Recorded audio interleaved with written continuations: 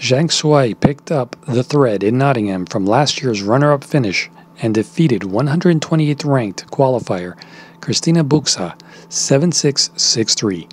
She was broken twice, but it was largely a welcome performance for the fourth seed, who landed in the UK with losses in seven of her last nine matches. It's only her second showing in the last 16 of a tournament this year, having converted the one in Lyon into her first overseas WTA title. In contrast, she, sur- she surged into the five quarterfinals in the second half of 2021, including beating Kristina Mladenovic and Zarina Diyas in a final in Nottingham. Jodie Burrage was broken in the first game of the match but did not repeat the offense and defeated Zhu Lin for the second week in a row. Days after taking out the Chinese player en route to the W100 Surbiton semifinal, the Brit reprised the result 7 6 6 4 for her first WTA main draw win. She was previously 0 4 in her first round matches on tour, with all attempts coming in 2021, including losing to Kristie Ahn in Nottingham.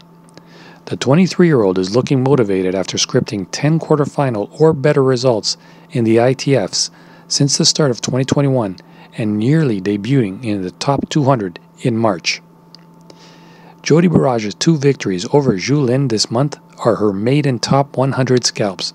However, she is now about to face a top 50 opponent for the first time.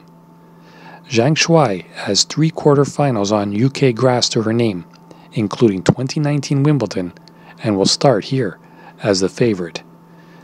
Once again, money is too much delay, minus 225 on Zhang. Uh, if you want Burrage, you're getting it at plus 220 but I am going to go with, again, the match handicap games. Shuai Zhang minus 4.5 plus 100 is my play in this one. What say you? Let me know in the comment section. Liking it, hating it, tailing it, fading it. What are you doing? Let me know.